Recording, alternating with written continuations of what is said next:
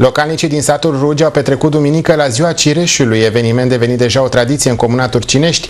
Zona este recunoscută la nivel național pentru producția bogată de cireșe. Inedit a fost gestul primarului, care și-a transmis mesajul din Cireș.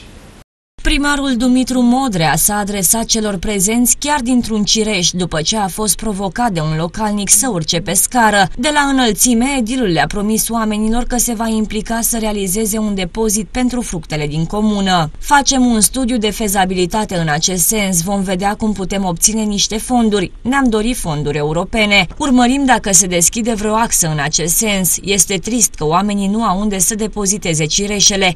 Nu avem un astfel de depozit în comună lună au ajuns vieții oameni să le vândă cu 2-3 lei, iar intermediarii le vând dublu în piețe, a spus Modrea. Aproximativ 30 de hectare sunt cultivate cu cireș la Turcinești.